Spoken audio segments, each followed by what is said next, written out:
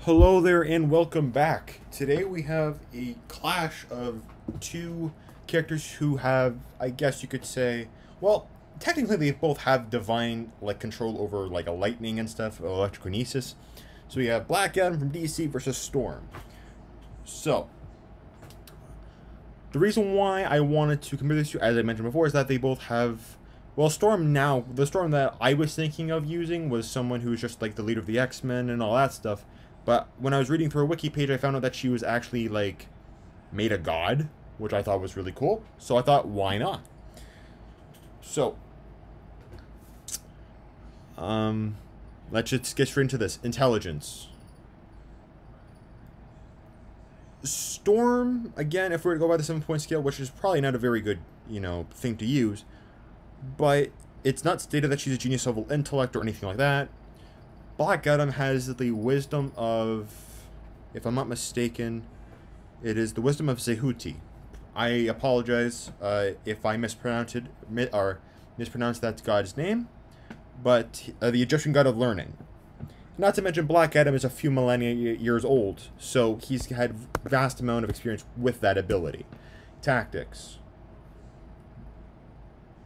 Black Adam isn't really much of a strategist. Least not from what I understand. Uh, Storm has led the X-Men for years. And multiple X-Men teams, for that matter. Fighting ability.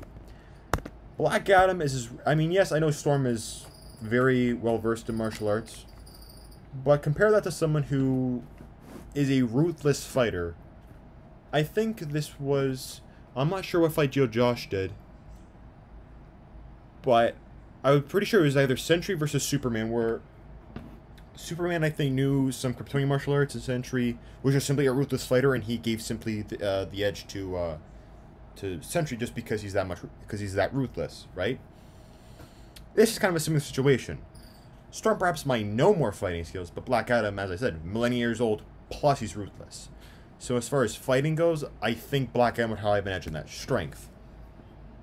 Strength and speed as well as durability have to go to Black Adam. More or less, he is. I think he's actually considered the most powerful superhuman on Earth. He's more powerful than Superman, which, when you come to think of it, makes sense. And that's not even including that Superman has a mystical invulnerability or mystical vulnerability. It's just the fact that when you consider that Black Adam draws his power upon six gods and occasionally seven, if it's Isis, right? Um, and he knows how to use these powers to their almost full extent, it makes sense consider you know uh, not to mention the power of I think it's um, Amun. Am, I think Amun Ra, I believe, is an again. I'm not really too familiar with the Egyptian deities, although I wish to be. But uh, get granted the power of, or the you know power or the strength of Amun, or the uh, king of Egyptian gods, grants enhancements in all these abilities aside from you know the gods that initially bestowed these abilities. It's kind of the same thing with Cap or Shazam, you know, with the power of Zeus amplifying you know the speed of Her uh, Mercury and the strength of Hercules and all that. Healing. Again, he's practically a god, more or less. Uh, he's I think had his jaw broken by uh, Ultraman and healed within a few hours. I don't see Storm. I don't see Storm as listed as having an, an, an ex, uh, exceptionally high healing or a great healing factor. Invulnerability. Again, uh, from what I understand, Storm doesn't necessarily seem to possess enhanced durability. She just doesn't. Energy projection, though, and versatility by far go to Storm. Black Adam more or less can just shoot lightning. Which, is as powerful as lightning bolts may be, it's nothing compared to atomokinesis or at atmokinesis. My bad. Atmokinesis. So she can control the elements, right? I mean, she. I guess you could say that. Not to mention, she does can use magic. That is something that also I think Black Adam isn't really known for using. Even though he has the potential to, he just doesn't. Um, teleportation. And like all gods, she needs to have believers and worshippers. So, Yeah. I'd say that's greatly above that of what Black Adam can do. Now the X Factor.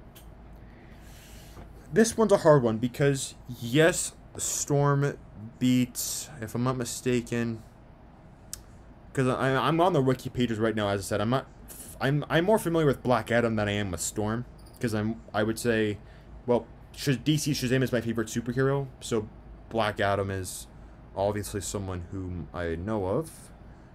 Um, just the adversary. So, again, yeah. So I guess you could say, and looking at this, he's quite an impressive human being. So, here's how I see this. So, I'll give the X Factor to Storm for the simple fact that, based on what I see from Adversary, he has. He's a, he's around. I would say he's around Black Adam's power level. He's probably slightly greater than Black Adam's power level. So Storm has the potential to be adversary. But Black Adam has beaten people far more powerful than Storm. Superman, I, I think he's beaten Superman, right? Um, and I'm not considering World War III Black Adam. And if I were to, then the X Factor would go to him because he technically has gone through entire people, like entire legions of superheroes at once. So I'll just get the X Factor to Storm here. Uh, not to mention, she might have the uh, mystical potential to revert Black Adam back to his mortal form and then potentially kill him. Who knows, right? But um, that covers this fight. I hope you enjoyed this video. Uh, please, if you'd like, sub uh, subscribe, like, share. I greatly appreciate it. Excuse me. And I hope you have a great day and stay tuned for the next fights.